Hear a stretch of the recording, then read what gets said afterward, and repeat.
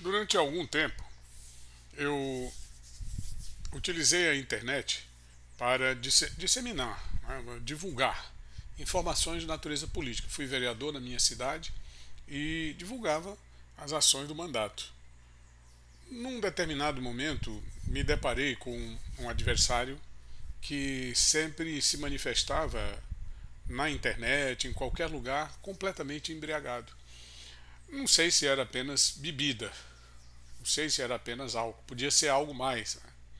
Mas todas as vezes que ele se manifestava, suas agressões eram impertinentes, eram absurdas, abusivas. Ele atacava sem qualquer destemor, sem qualquer respeito à pessoa, à família da pessoa, à comunidade. Quer dizer, e a partir daí eu passei a, a não interagir mais. Quando percebi que os adversários da política estavam incentivando pessoas com esse tipo de procedimento, com essa característica, a ingressarem na grande rede, embriagados, drogados, o que seja, exatamente para me atacarem.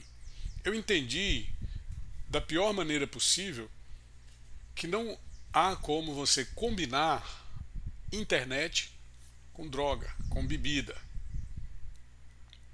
De repente você se depara, no momento atual, com jovens que estão no auge da sua carreira, pelo menos até o momento, são bastante jovens, eu acho que tem muita bola para frente ainda, muita coisa para rolar, é, fazendo um podcast, uma coisa que a internet absorve como totalmente inovadora e extremamente gratificante para os que assistem, para quem gosta desse tipo de produto, desse tipo de conteúdo.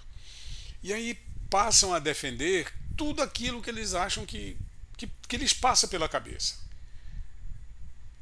Um desses apresentadores, é, quanto mais vê-lo utilizando drogas em seu programa. Durante a apresentação do programa, fumaça de maconha, ou então bebidas alcoólicas sobre a mesa durante esses podcasts, como se diz.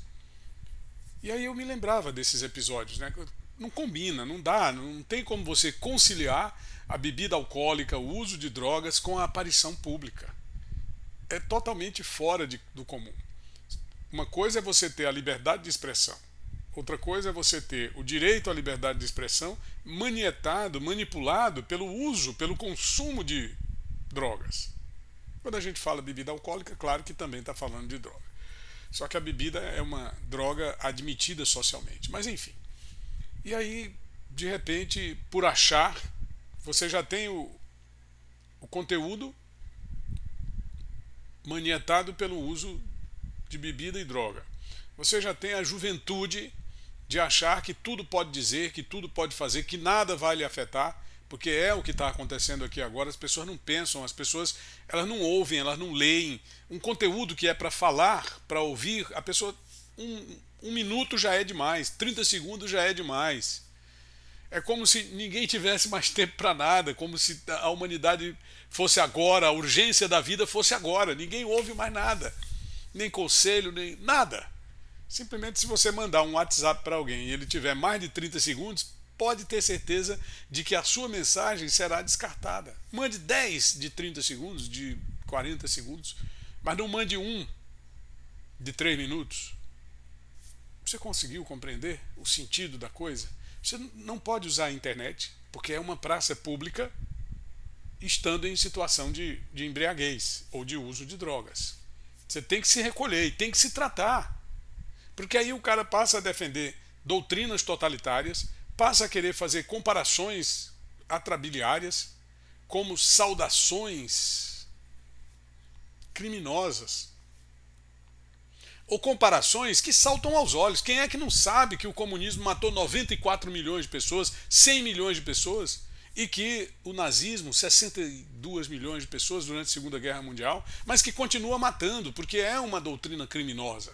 E como tal, deve ser repudiada. Aliás, ambas devem ser repudiadas. Ambas devem ser de fato criminalizadas. Porque o crime praticado pelo comunismo persiste e salta aos olhos, não apenas aqui no Brasil, na Venezuela, em Cuba, no leste europeu? Continua. Tudo como dantes no quartel de Abrantes. exceto o fato de que agora todos somos monitorados 24 horas por dia, na medida em que colocamos o nosso pensamento, a nossa opinião publicamente. Se você quer colocar a sua opinião publicamente, que ela seja uma opinião qualificada, respaldada pela sensatez e pela responsabilidade. Porque as pessoas são responsabilizadas por opiniões.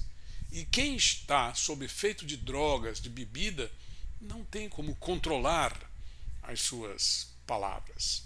Como dizia um juiz que hoje é desembargador no Tribunal de Justiça do Estado do Piauí, eu assisti a uma palestra dele no pleito eleitoral de 1992, doutor Haroldo de Oliveira Ren, lembro como se fosse hoje, grande juiz, grande desembargador, foi policial federal, combateu na linha de frente da polícia, delegado federal. A bebida rompe com todos os nossos freios inibitórios, era o que ele dizia por ocasião das suas palestras. Então, cuidado com o que você vai fazer depois que beber. Cuidado com o que você vai dizer depois que beber. E principalmente, aí eu acrescento, com o uso de drogas. É lamentável. Infelizmente, esta é a realidade. Se você tiver uma realidade diferente, por favor, qual o problema em colocar aqui nos comentários? Tá bom? Um abraço, Tony Rodrigues, além da notícia. Eu estou usando esse equipamento porque o microfone outro está falhando. Mas voltaremos com ele em breve, tá? Já estou providenciando.